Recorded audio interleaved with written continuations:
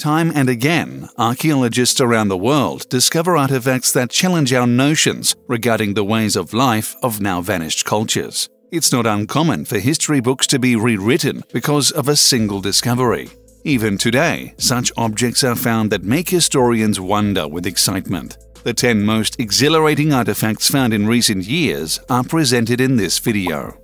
Are you fascinated by mysterious things and archaeological discoveries? Then show us with a thumbs up, subscribe to Hidden Worlds, and join us on our journey. The Carnyx, a wind instrument of the Celts.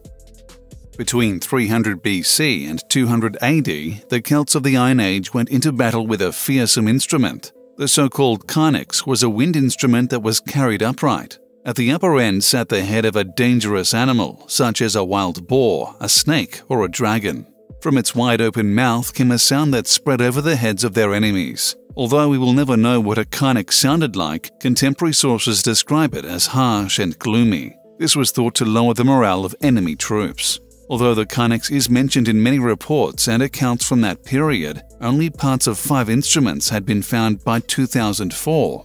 In that same year, archaeologists finally managed to unearth a larger haul of Iron Age artifacts, which included seven well-preserved carnyx. The mouthpiece of one carnyx from France suggested that it was played horizontally rather than vertically. Historians now assume that it was used not only in warfare, but also in festivals, weddings, and other rituals.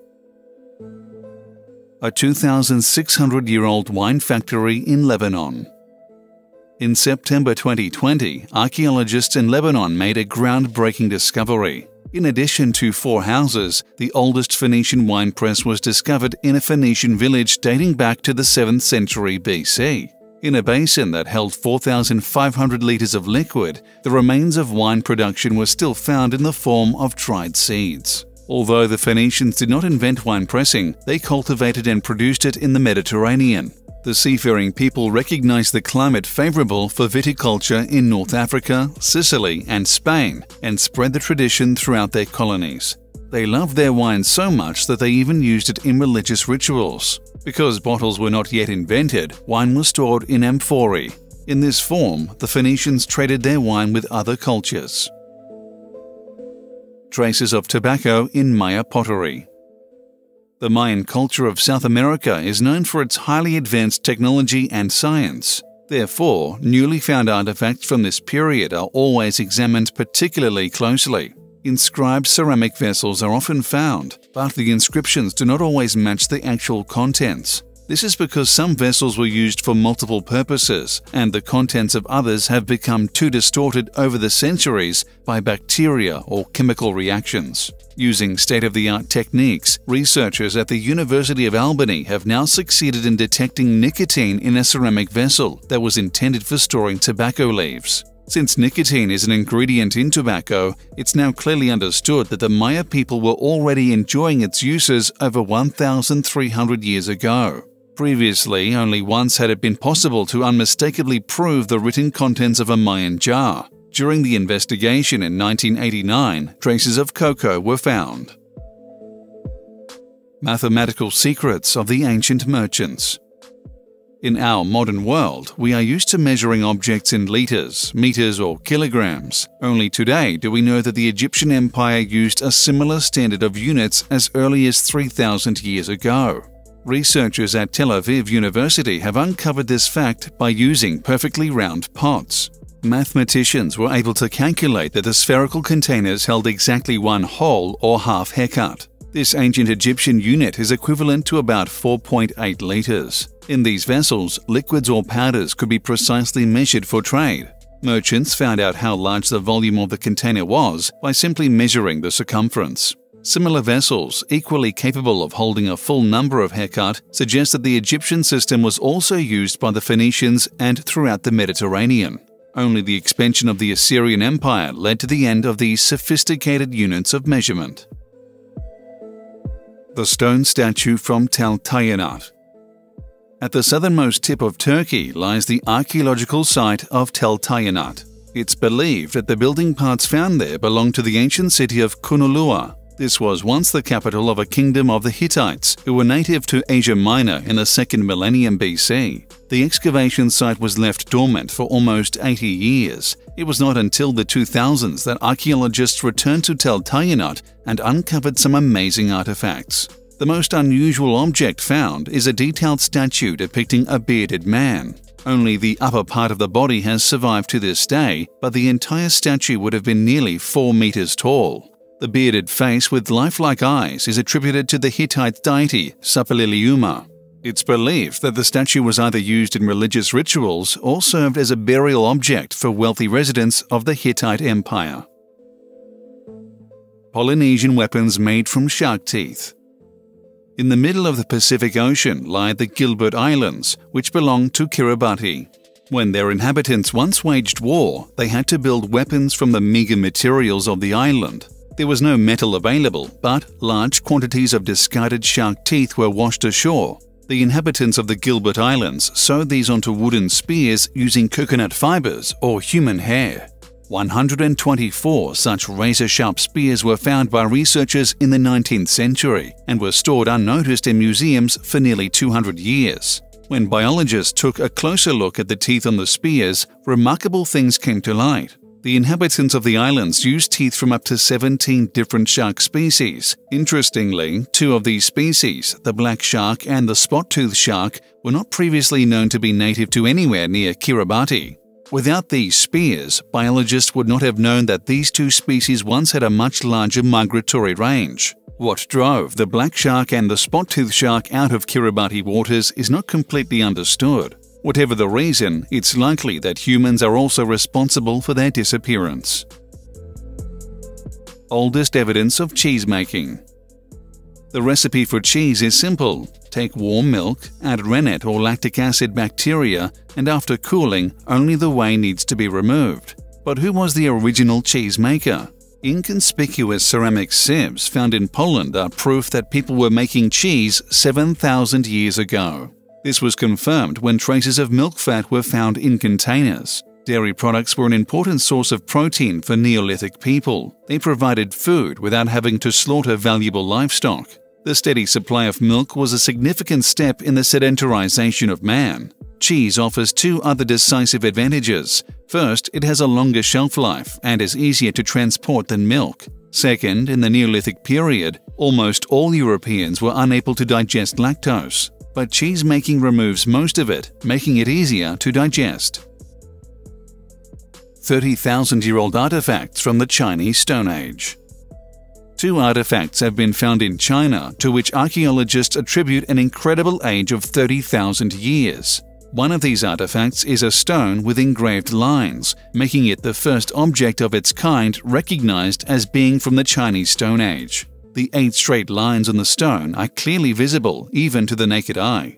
Analysis has shown that they are not the result of animal activity or natural phenomena, they must have been deliberately engraved by humans. Whether these lines were used for counting or represent primitive writing remains to be uncovered. Beads made from the shells of ostrich eggs were also found at the same site. These large ratites once lived not only in Africa, but also in large parts of Eurasia. Who was responsible for these discoveries has not yet been clarified. Both the indigenous people of China and nomads who moved to the area from the west come into question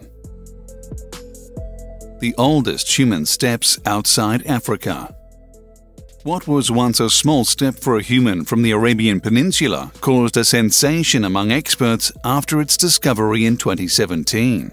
Namely, among the sand dunes of Saudi Arabia, scientists found the first footprints of a human outside of Africa. The inconspicuous depressions on the dry desert ground can be dated back 120,000 years and provide clues as to when the first representatives of Homo sapiens left their home continent of Africa. What exactly these people look like or how they lived unfortunately remains a matter of speculation.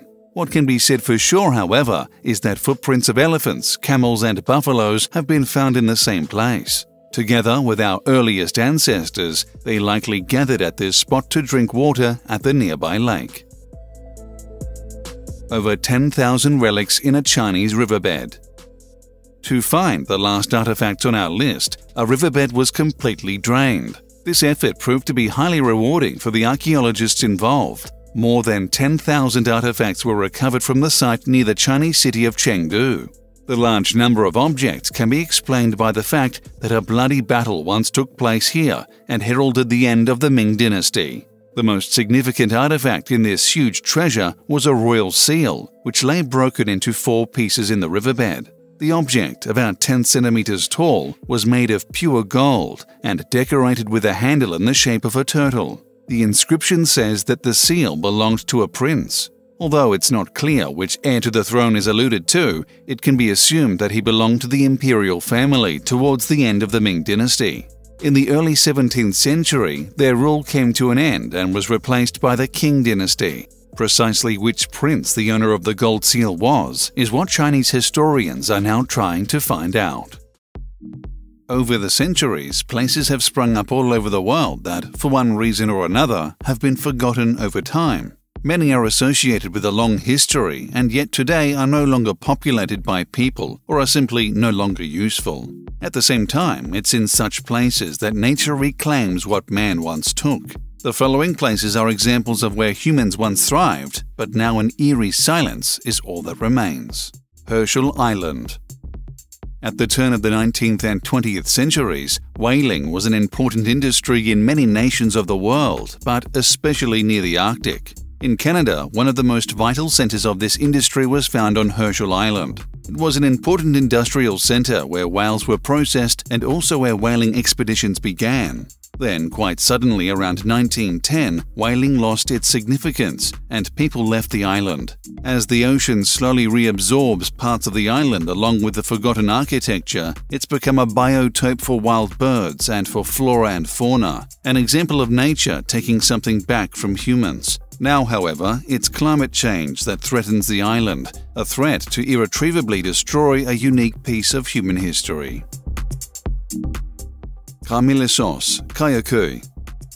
In the area of today's Turkey and Greece, there are many small towns that played an important role in ancient times, and in some cases even in the early Middle Ages. Karmilisos, or Kayaköy in Turkish, has a particularly tragic history. The former Greek settlement was an important port and was initially almost completely destroyed by an earthquake. After the city passed through the hands of various rulers, it was the ongoing conflicts between the Turks and the Greeks in the 19th century that ensured that the city's population was almost completely displaced. Today, Kayaköy is a ghost town, open only to tourists, where you can still admire the former churches, Greek houses, and ruins from ancient times. Glehn Park on the outskirts of Estonia's capital, Tallinn, are the remains of an ambitious project led by Nikolai von Glehn, an eccentric landowner who wanted his own little kingdom. He had an impressive castle, a garden, and various other structures erected, which still attract tourists from the surrounding areas. Unfortunately, since the castle was looted during the First World War, nothing remains of the interior adornments, which is said to have been designed by Nikolai himself. Instead, some curious statues can be found in the adjacent park. A devil and a dragon, created from stone and other materials, keep a close eye on visitors who wander around. No official records of the estate have survived, and so it remains a small mystery in the middle of Estonia. St. Mary's Tower Standing lonely on one of the coastal stretches of Malta, St. Mary's Watchtower has held an important meaning for the island and for the vessels along the coast of Malta for many centuries. It was built in the middle of the 17th century, and its main purpose was to protect the small islands around Malta, as there were frequent attacks by pirates on essential merchant vessels. Over the centuries, the tower, which could be seen from the horizon and is an important landmark in the region, also served as a hospital, a prison, and a shelter for spies in one of the countless wars fought around Malta. It wasn't until the 21st century that the tower was abandoned and given to a charitable organization. It takes care of preserving this vital piece of history and informs visitors about why this tower and others had such a crucial role in the development of the island. Kachari Ruins In the Middle Ages, there was a multitude of small and large kingdoms in India which naturally wanted to signify their power through temples, palaces, and other monuments. Even today, little is known about these kingdoms, as what remained has decayed over the course of time. An example of this are the strange ruins of the defunct Kachari Empire. Sometime in the 18th century, the kingdom was invaded and occupied, and all that endured of the state's mighty temple were some strange monuments that can still be seen today. The collection of mushroom-like pillars was partially forgotten for centuries and was only recently reopened to tourism. There is also a theory that these ruins are much older than the kingdom that gave them their name. Unfortunately, since their condition is so degraded and only a few remain, the search for clues continues and it may be years before the mystery is solved. Fortuna Air Force Station Fortuna Air Force Station is another example of how nature reclaims its territory if left abandoned. Built in the early 1950s, it served as a radar station searching for unidentified aircraft until the late 1970s. When it was no longer needed, rights to the land were sold several times over, and the buildings were left to deteriorate. In the search for usable parts, many of the buildings were destroyed, and now only the old radar station and some smaller buildings remain.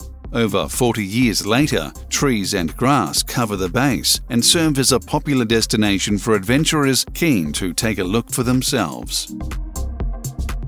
Cimitero dei Burci The Burci was a kind of wooden ferry that moved goods and people between Venice and the surrounding lagoons. This was a tradition that lasted deep into the 20th century, by the 1970s, however, new and more effective ways had developed and many of the old burci were left to rot, half submerged in the rivers and lagoons. They quickly became a place for plants and animals to thrive, and today the Burci Cemetery is part of a walking tour that leads from Venice towards Treviso.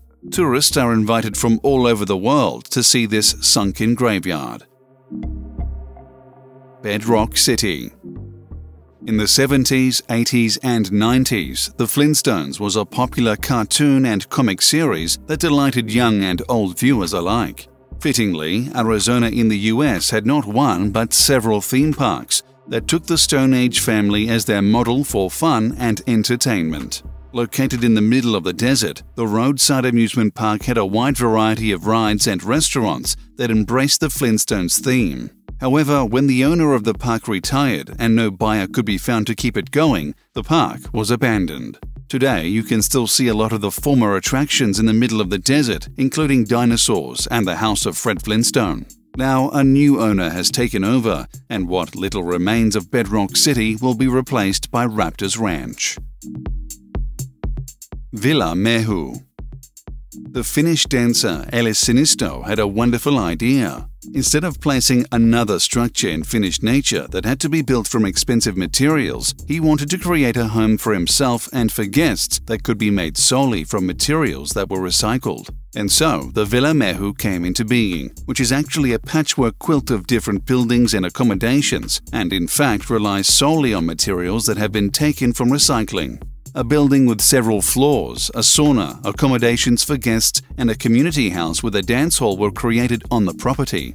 After the dancer's death, the property was sealed off, and to this day it's not entirely clear who is now in charge. Regardless, one can still observe how the returning nature blends perfectly with the recyclable materials and makes it almost seem as if this was the intended purpose all along.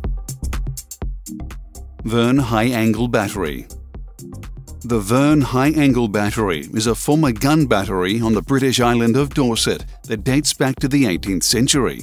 On the one hand, this military structure was intended to protect the island from a possible invasion, and on the other, it was an important bulwark in the defense of the sea routes of the British Isles. However, since the beginning of the 20th century, the battery was abandoned as technical progress was simply too fast, and thus its strategic importance was no longer worthwhile. Since then, nature has flooded back and set about nesting in the man-made structures. Today, it's a major tourist attraction on the island and not only provides a good insight into the military infrastructure of the time, but also blends in beautifully with the landscapes of the Dorset coast. Village disappeared. On the Shetland Islands in northern Scotland, an entire village disappeared under a thick layer of sand about 300 years ago. But how could that be? Well, the north of Scotland is rough, and there is indeed a large amount of sand on the beaches of the small islands. But a whole village in the interior of the island simply buried under sand? It didn't make sense to researchers for a long time. The village of Broo, together with two other villages, was the only settlement on this comparatively small part of Shetland. To this day, the area is inhospitable, but nevertheless, people have been living on Shetland for more than 2,000 years. When the Little Ice Age broke out 300 years ago, the climate changed dramatically, even in the far north. Gigantic storms whipped large quantities of water ashore and stirred up the sand. Using certain calculations and a giant fan, researchers have now been able to recreate the process. In fact, strong winds can easily move several dozen cubic meters of sand at this location. It suggested that an overpopulation of rabbits and sheep was likely to blame. They had destroyed all the tall grass and bushes in the coastal section of land. Natural shelter was lacking, and the small village was at the mercy of storms. Broo likely did not disappear under the sand overnight, rather, the layers of sand piled up over a long period of time, so villagers were able to get to safety at other locations. Manolo Paz's Menhirs in Spain. Have you heard of the Spanish Stonehenge? On Spain's Atlantic coast at the far northwestern tip of the country stand 12 menhirs, also known as family menhirs or peace menhirs. But in fact, the history of the arrangement does not go back quite as far as that as the fabled Stonehenge. The modern arrangement was installed by an artist only in 1994. Manolo Paz takes inspiration from sacred stone buildings of the past and then does his own thing with them. The huge boulders are between 2 and 4 meters high and all of them have a peephole. The artist wanted to create with his menhirs a place of meditation and connection of the old with the new. I wonder if archaeologists will excavate the site 1,000 years from now and wonder why we built it. Multiculturalism 2,000 years ago. The seaport of Berenice was a flourishing trade center in ancient times. Originally built by Ptolemies to import war elephants from faraway India, the port later became a transshipment point for art and consumer goods from all over the world. A team of Polish and American archaeologists have now excavated a temple in the long dead city, and what they found there did not fit at all into the picture of Egyptian history known so far. In the temple of Serapis and Isis, both deities for health and fertility, researchers found sculptures that were around 2,000 years old and came from all sorts of regions around the world. Among them was a Buddhist figure from the Gandhara region between Pakistan and Afghanistan. One figure depicts the Nubian deity Sebu and other sculptures of other gods from faraway Sudan. In the house of Serapis and Isis, therefore, neither racial hatred nor religious separation was practiced. Here, deities from all different parts of the world joined in an early multi-religious gathering. A shipwreck full of gold. Diamond prospectors discovered a shipwreck completely buried under sand on the skeleton coast of Namibia. The Bom Jesus had sunk at this spot about 500 years ago, but the real sensation was the cargo of the Portuguese ship, hundreds of gold coins worth about $13 million. The ship was only found because treasure hunters had drained an entire bay. But who gets the gold now? Although the ship belonged to the King of Portugal at the time and is therefore actually Portuguese state property today, the Portuguese renounced the treasure and generously left it to the government of Namibia. Ancient gears or cult objects. For about a century, thousands of gears have been found in Orange County, Southern California. The 2.5 to 15 centimeter wide wheels lie scattered in fields or are recovered in large numbers during construction work. But what were the objects used for? Researchers attribute them to the Millingstone Horizon culture, which lived 2,500 to 7,500 years ago in what is now Southern California. There are four to seven variations of the gear stones flat, grilled, pierced, and without a hole. The number of these prongs ranges from 1 to 22, with most having 10 to 17 prongs. The stones are geometrically perfect and made of different raw materials such as red ochre, shale, sandstone, basalt, or granite. Presumably, the different stone types and shapes belong to certain clans. Interestingly, the pieces are found almost entirely near sea cliffs or coastal hills. Although the epoch was named after the advent of milling stones technology, researchers rule out that the small stones are pieces of an early expertise. Rather, they see in the jagged stones cult objects or possibly parts of a game. Tullymonstrum fossil The Tullymonstrum was named after its discoverer, the amateur researcher Francis Tully. He found numerous skeletons of the bizarre creatures in a former coal mine in the US state of Illinois. They were about 30 to 40 centimeters long and, interestingly, were found only in this one place. The Tullymonstrum gregarium is a strange hybrid of a diamond-shaped fish and a snake. The mouth resembles a grasping arm studded with sharp teeth. But the most bizarre thing about this animal was certainly its eyes. They sat on the outside of a horizontal rod, which looked mounted to its back. It really doesn't get any stranger than this. For a long time, scientists could not assign the unusual creature, which lived about 307 million years ago, to any known species or genus. Now, however, they have found out that the Tullymonstrum was a vertebrate and is related to today's lampreys. The man who found Forrest Fenn's treasure the US millionaire Forrest Fenn was an eccentric man who buried part of his fortune as treasure in 2010 and called for a nationwide treasure hunt. He wanted to ensure that his fellow man could experience the thrill of the hunt. As a hint, Fenn published an enigmatic poem several paragraphs long and at times gave further hints in the media. The treasure hunt lasted until June 2020, when an initially anonymous person finally lifted the chest of coins and jewelry worth about $2 million. It was only a few weeks and a lawsuit in a US court later that the discoverer was finally forced to reveal his identity. The lucky man was a 32 year old medical student from Michigan who, in his own words, had studied Fenn's personality rather than his poem to get to the treasure's location. In doing so, he accomplished what 250,000 others before him had not. Forrest Fenn's treasure hunt brought about the deaths of four people. The millionaire himself died shortly after in September 2020 at the age of 90. The oldest emoji in the world in July 2020, archaeologists discovered what is believed to be the oldest emoji in the world. It was unearthed in an ancient Hittite city in what is now eastern Turkey.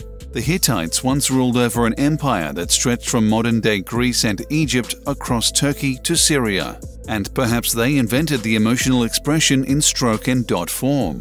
In any case, the pot vase, which likely contained a sweet sherbet, bears a smiling face made of two dots and a curved dash. Coincidence? No, say archaeologists, as the drawing was clearly painted on. The Hittite smiley, which is around 3,700 years old, thus replaced the previous record holder from Slovakia. Here in 1635, a lawyer had scribbled a smiley emoji on a legal document. Strange insect. I wager you've never seen such an insect before. Even the experts are struggling with the identification of this strange bug.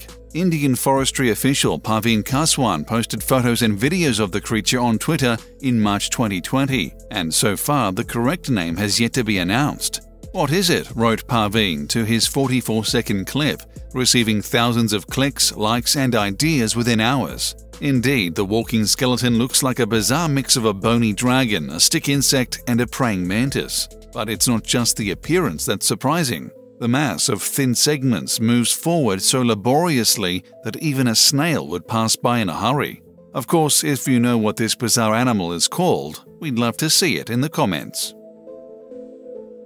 Fighter planes under the sand. In the summer, informal reports overflowed the net. The Americans allegedly recovered several Russian fighter jets with highly explosive technology on board from the desert sands of Iraq. Russia is said to have supplied these to the dictator Saddam Hussein during the Iraq War. Conspiracy theorists sense secrecy and a still smoldering dispute between the bosom enemies Russia and the USA. But only a few weeks later came the denials and corrections. The Russian fighters, which included types of legendary MiG-25 Foxbat, had been slumbering in the hot desert sand for a bit longer. In fact, in 1979, at the height of the Cold War, the Soviets sent them to Iraq and hid them there in case of an emergency. Instead of highly explosive technology, this find is more like war scrap or oversized souvenirs of the Cold War. By the way, the planes were found when international weapons experts were searching for Saddam Hussein's alleged weapons of mass destruction, and they have not yet been found. That's it 10 more exciting, rare, and bizarre discoveries worldwide. Let us know which discovery surprised you the most. Would you like to have participated in the search of Forrest Fenn's treasure? As always, we welcome your comments and ideas on the topic.